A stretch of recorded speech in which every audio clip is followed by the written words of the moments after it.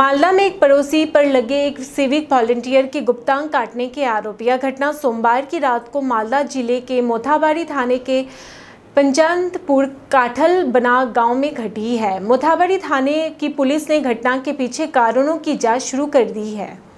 पता चला है कि उस घायल सिविक वॉलेंटियर को सर्वप्रथम इलाज के लिए मालदा मेडिकल कॉलेज अस्पताल ले जाया गया, जहाँ उनकी स्थिति अत्यधिक गंभीर होने के कारण उन्हें कोलकाता रेफर कर दिया गया है। घायल सिविक वॉलेंटियर को सोमवार रात में ही कोलकाता ले जाने के लिए रवाना किया गया है। आरोप है कि पड़ोसी ने उस सिविक वॉलेंटियर का गुप्तांग काट कर उन्हें मारने की कोशिश की। मोथाबाड़ी पुलिस ने पूरे मामले की जाँच शुरू कर दी है कि आखिर किस कारण से पड़ोसी ने इस प्रकार की अमानवीय घटना को अंजाम दिया। घायल सिविक वॉलंटियर की पहचान विफल चौधरी के रूप में हुई है। पुलिस सूत्रों द्वारा पता चला है कि उन्हें बेहतर इलाज के लिए कोलकाता भेजा गया है। वहीं दूसरी ओर इस घटना से इलाके में हरकंप मच गया है। इस प्रकार की अमानवीय घटना को सुनकर हर कोई दहशत में है।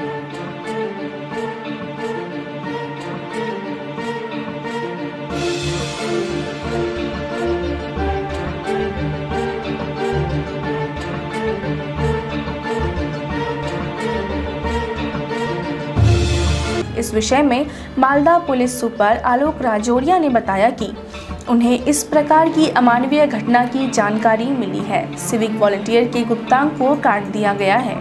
फ़िलहाल उस सिविक वॉलंटियर को गंभीर हालत में कोलकाता रेफर कर दिया गया है। उन्होंने आगे कहा कि अभी तक पूरी घटना हमारे पास स्पष्ट रूप से नहीं आई है। हालाँकि पुलिस लगातार इस मामले की जाँच कर रहे हैं।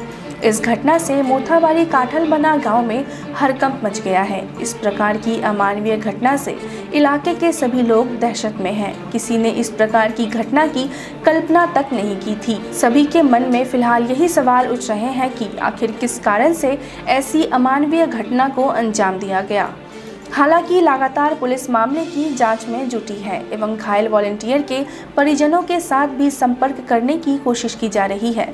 परिजनों से बात कर पूरे मामले की नज़दीकी जाँच की जाएगी।